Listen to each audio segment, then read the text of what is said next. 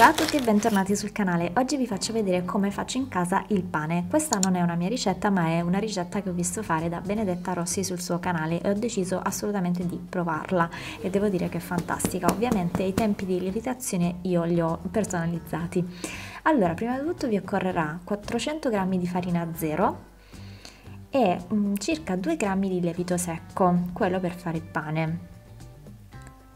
All'interno ci vado a mettere anche un cucchiaino di zucchero e 1-2 cucchiaini di sale, va un po' a vostro gusto perché a noi per esempio piace salato il pane. E poi all'interno ci vado a mettere 300 g di acqua e inizio a mescolare fin quando si creerà una palla, non mm, perfettamente liscia ma irregolare ovviamente. Una volta creata questa palla andate a coprire l'impasto e lo lasciate riposare per circa 10 minuti, dopodiché riprendete l'impasto, rimescolate ancora e lo lasciate riposare altri 10 minuti.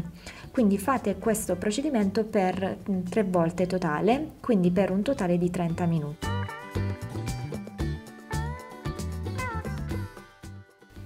Dopo 30 minuti questo impasto andrà messo in frigo dalle 6 alle 24 ore, quindi potete scegliere voi se tenerlo di più o di meno. Io per esempio ho notato che tenendolo in frigo 16 ore il pane viene molto, eh, molto più leggero e quindi ci piace così.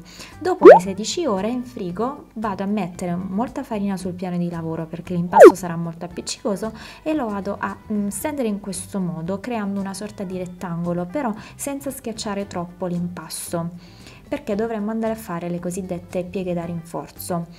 In questo modo, come state vedendo appunto nel video, fate questo procedimento un'altra volta, dopodiché lasciate riposare l'impasto deve lievitare a temperatura ambiente per circa eh, 3 ore. Lei nel video lo lascia lievitare un'oretta, un'oretta e mezza, ma ho notato che lasciandolo di più viene un po' più alto. Dopo 3 ore accendete il forno a 220 gradi e metteteci all'interno una pentola adatta per il forno. Io ho preso questa pentola da Casanova che ehm, ha i manici in silicone, però li ho protetti con della carta di alluminio per evitare che si rovinassero.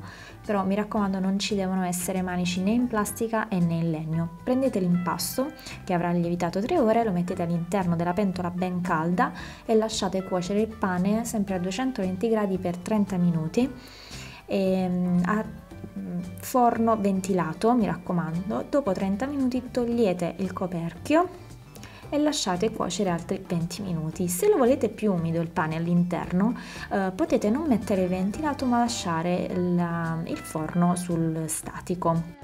Questo è il risultato, per esempio quest'ultimo io l'ho lasciato cuocere con il forno statico e quindi all'interno è venuto un po' più eh, umido. Spero tanto che questo video vi sia piaciuto, se provate a fare il pane eh, fatemelo sapere giù nei commenti se l'avete già fatto, insomma voi come procedete e niente, io vi saluto, vi mando un bacio e ci vediamo presto in un prossimo video. Ciao!